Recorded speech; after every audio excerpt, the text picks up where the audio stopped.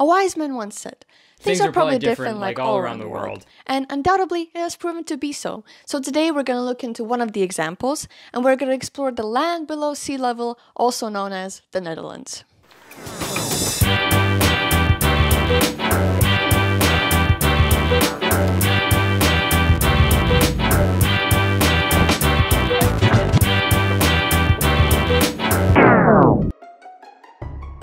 Location Kingdom of the Netherlands is located in the northwestern Europe. It borders Germany on the east, Belgium on the south, and the North Sea on the northwest. The country is remarkably flat. Nearly a quarter of its territory is below sea level, so there are large expanses of lakes, rivers, and canals. The four largest and most populated cities are Amsterdam, Rotterdam, Utrecht, and The Hague.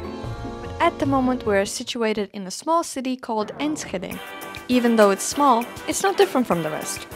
Old, yet modern, diverse yet traditional, open minded yet simple.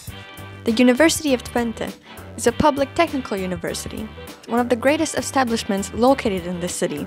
But within 25 minutes of biking from here is where I study, Saxion University of Applied Sciences. Besides that, Enschede also has a main square, a Primark, the Rijksmuseum, a couple of Albert Heijns and Lidls, and lots and lots of bikes. Oh, and also an art school. Who are the Dutch? Let's look at their typical attributes. They are direct. yeah, I know, right? yeah, right, I also think so. Okay, Erika, this is your chance to make a new friend. You just had great small talk. They seem to like you. They, we have stuff in common. There's nothing to lose. I have some friends coming over tonight to play some board game. Feel free to join. No, Yeah, no worries. It's fine, it's okay, don't worry. I'm not crying, you're crying. Decently punctual.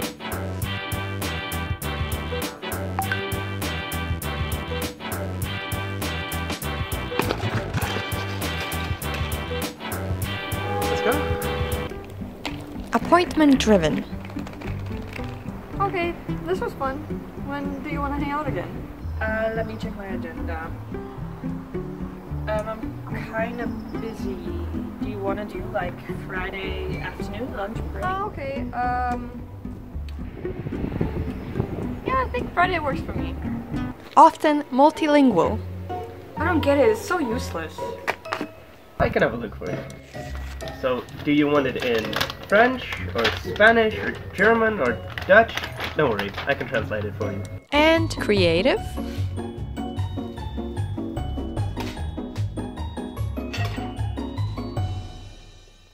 Typical Dutch behaviors. What should we expect from Dutch culture and things to keep in mind? Greetings. If you are on the street and eye contact was made, a kind hello is most times expected. I'm so confused. Did I talk to him before? Why did he say hi to me? Now I feel really awkward by not saying hi. When Dutch people meet for the first time, they shake hands. The handshake should be made with the right hand and should be firm and short. Bikes. The Netherlands are known for biking. Everywhere you go, you will see bikes. This is the number one vehicle of transportation. But they do be stealing bikes here, so make sure to have a good lock on it. On average, a Dutch person has two bikes one that's broken and needs to be fixed, and the other one that's replacing it. When you're biking, it is very crucial to signal when you're turning. So here are the most common ways how to signal demonstrated by my lovely assistant Christina. The casual, the low point, the finger gun, the high five, the wave, and I don't feel like it because there's no cars and you're just a pedestrian, so if I run into you, it's gonna be your fault. Big windows. Most buildings and houses have very big, revealing windows. Sometimes, as a foreigner, it's difficult to resist the urge to look inside when passing by. The weather. The Dutch are pretty happy, especially when the weather is nice and sunny, but they also love to complain about it if it's not, because of how unpredictable it can be.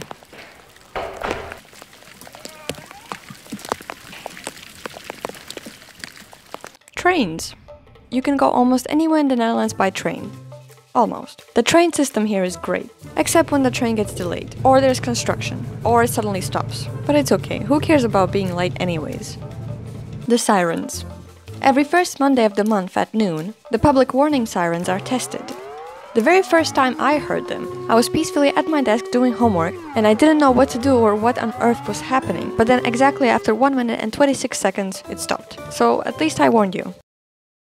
This portion of the video is not sponsored by Dopper. Have you ever wanted to drink water? Well, in the Netherlands, the water is safely drinkable from the tap. Moreover, if you're looking to fit in with the Dutch, buy a Dopper water bottle. It comes in different colors, it serves the purpose, and also it turns into a little cup. Fill up at home or in the streets. Food culture. Traditionally, Dutch cuisine is simple and straightforward, with many vegetables and little meat, because it's kinda expensive. Nevertheless, the Netherlands are well known for their cheese, stroop waffles, and the simplicity of having everything pre cut and packaged or ready to be cooked, like this soup.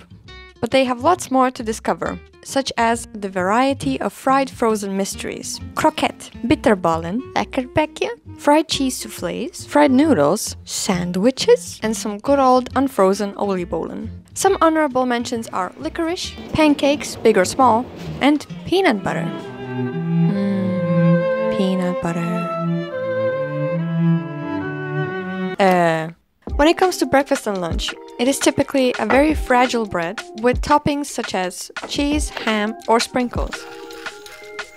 While dinner is something like meat and potatoes with seasonal vegetables, and on Thursdays is encouraged to be vegetarian.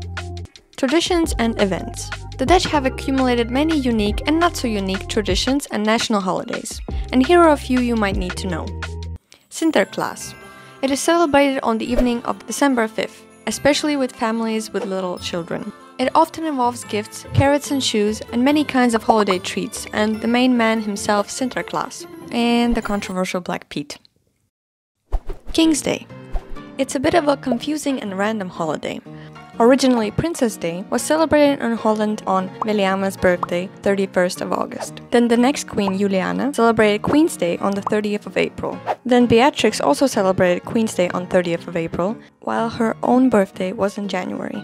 And now King William Alexander has followed this tradition. He was born on the 27th of April, and this became the official King's Day since 2014. Except if it's a Sunday, then it's celebrated on the preceding Saturday. The Dutch go all out on this day, wearing a lot of orange, making a lot of noise, and holding flea markets in parks and streets without requiring a permit? Okay. Birthdays. It all starts by putting up signs, balloons, posters to let your neighbors know that someone's having a big birthday party this week. And on the big special day of the party, guests will pull out their chairs, make a nice and not so geometric circle, and talk about everything and nothing. Also, keep an eye on these sprinkles for newborn babies. Since there are many traditions and events, I'll probably won't be able to fit in all of them in this video, so let's just speed it up and look at my highlights. Dauwtrappen. A lot of cycling or walking in a group on the 1st of May. Hanging backpacks on Dutch flag to celebrate the passing of exams. The blooming tulip fields from March to May. Carnival. Carnival? Carnival. And Redhead Day? I think that's enough. This video summarizes the cultural experience I gained while living in the Netherlands. I have spent quite some time here making Dutch and international friends, visiting new places, discovering new hobbies, and gaining new skills.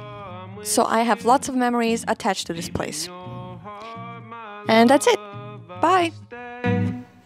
When I'm away, no matter how far, no matter.